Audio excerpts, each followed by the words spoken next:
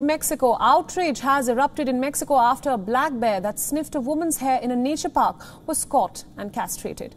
The male black bear was caught after it was considered that the bear posed a risk to the visitors of the ecological park.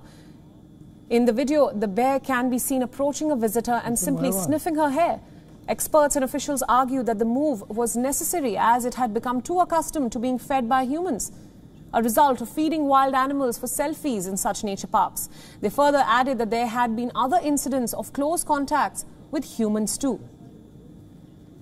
The bear was captured by officials of a federal environmental protection agency and then castrated. This move is now being investigated and the agency has released a statement saying that the decision to castrate the bear was taken by the coordinator for wildlife at the Autonomous University of Nuevo after consultation.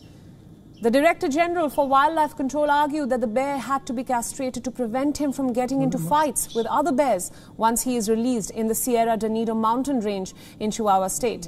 Both the castration and the planned move to Chihuahua have caused outrage among the people in the state of Nuevo Leon, where the, where the bear was captured.